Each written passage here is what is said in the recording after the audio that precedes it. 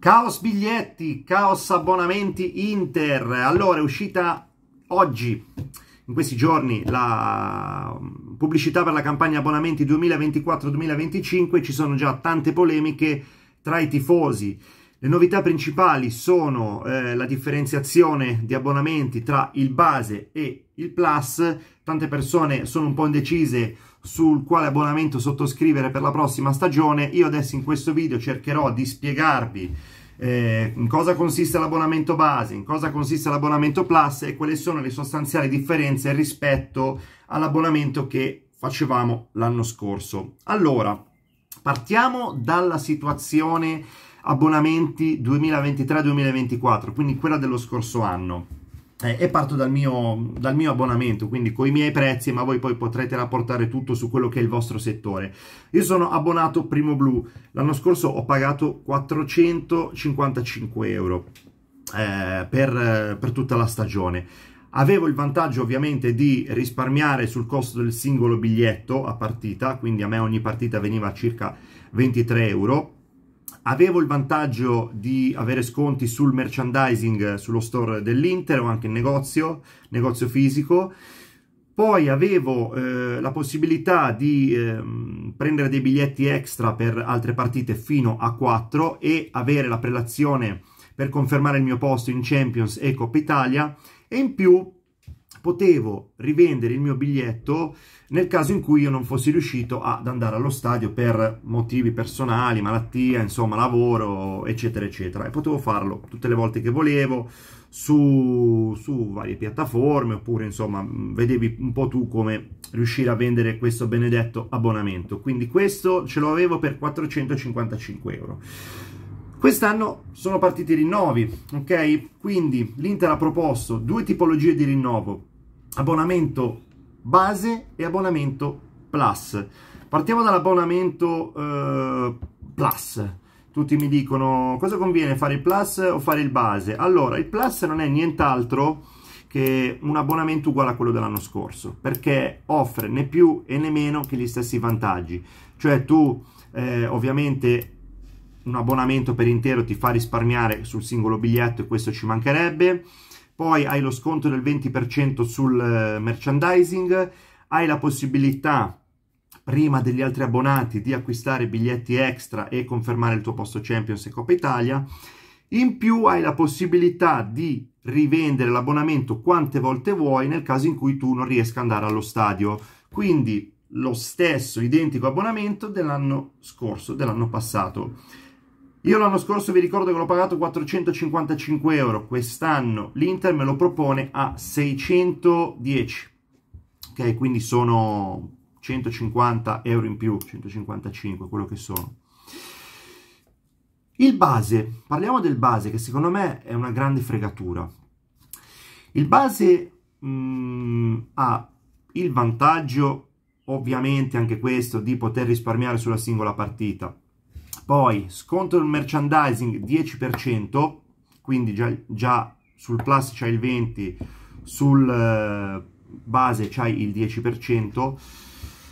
Mm, e in più la cosa, novità che secondo me è negativa, è che se io non potrò andare allo stadio per motivi di salute, personali, lavoro o, o qualsiasi motivo, insomma, valido per non andare allo stadio, potrò rivendere fino a un massimo di 5 partite esclusi i big match.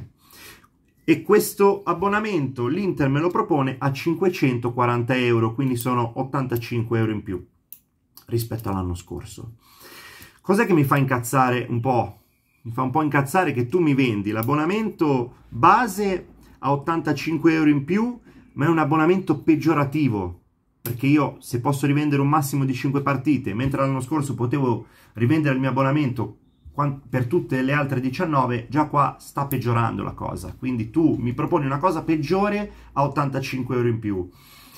Se voglio evitare tutti questi inconvenienti quindi voglio avere la libertà di ammalarmi a Inter Napoli di stare a casa Inter Milan di dare l'abbonamento a Inter Juventus a un mio amico perché ci tengo che ci vada devo fare il plus che mi costa 610 euro in più tu l'anno scorso potevi vendere il tuo abbonamento al prezzo che volevi, cioè tu andavi su una piattaforma eh, oppure ti mettevi d'accordo con l'amico, facevi il cambio nominale, dicevi ascolta io per Inter Juventus voglio 100 euro, se lui andava bene ti dava 100 euro, altrimenti no. Quest'anno invece col Plus lo puoi rivendere attraverso la piattaforma ufficiale dell'Inter, poi l'Inter farà un conto vendita e ti darà il 60% del, insomma, del, del biglietto, se, se riuscirà a venderlo.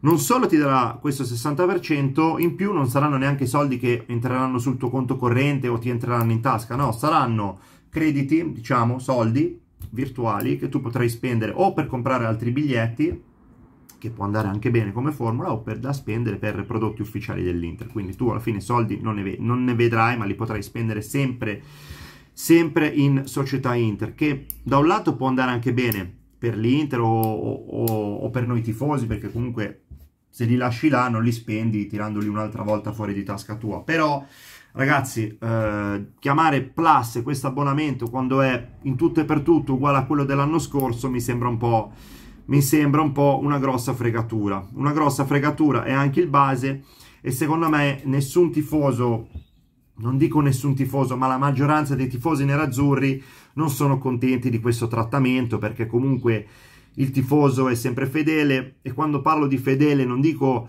è stato presente l'anno scorso, è stato presente in annati in cui c'erano giocatori non all'altezza della storia dell'Inter, adesso non voglio fare i nomi perché mi sembrerebbe un pochino un pochino scorretto, però c'erano rose e allenatori e dirigenti non all'altezza della storia dell'Inter, eppure ci sono tifosi, me compreso, che in quegli anni sono sempre andati allo stadio.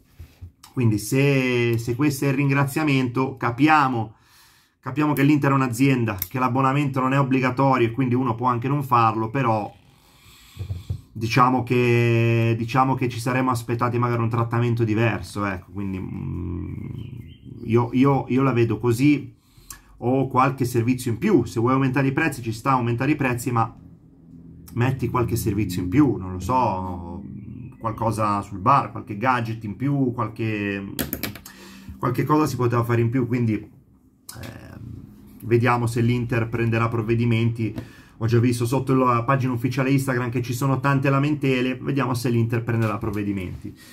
Ragazzi, spero di essere stato chiaro. Eh, se vi va potete scrivere nei commenti il vostro parere, se avete domande potete farmele, cercherò di rispondere nel limite del possibile, cercherò di prendere ancora più informazioni. E basta ragazzi, se il video vi è stato utile vi invito a iscrivervi al canale e lasciare un bel like. Detto ciò, come sempre, saremo allo stadio anche l'anno prossimo. Sempre solo Forza Inter, amala. Ciao a tutti.